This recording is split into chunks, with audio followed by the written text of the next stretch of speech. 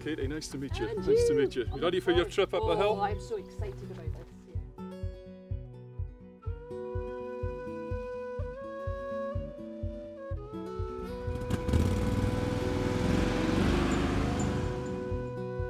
Oh, so Charlie, where are we now? Okay, Katie, we're about a quarter of the way uh, up to the summit of Cairngrantic.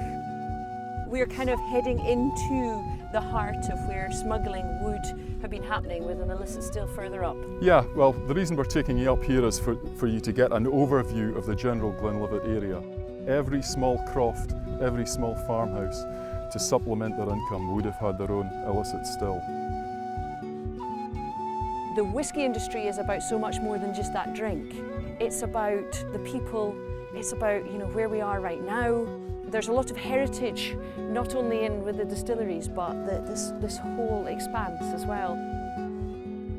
Obviously coming up here in an Argo Cat is a little bit different to having a peaceful walk with your dog, but there's something a little bit um, exciting about it. You're bouncing along, you're going over terrain that you think you're going to just disappear into and, and through the heather.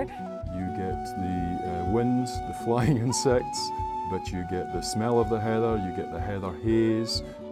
The appeal of getting in your car, heading into the, onto the snow roads is one of kind of continued surprises, I think, because the environment changes through the course of, of, of the route. And I think when you come to different parts, there's a wow moment quite regularly.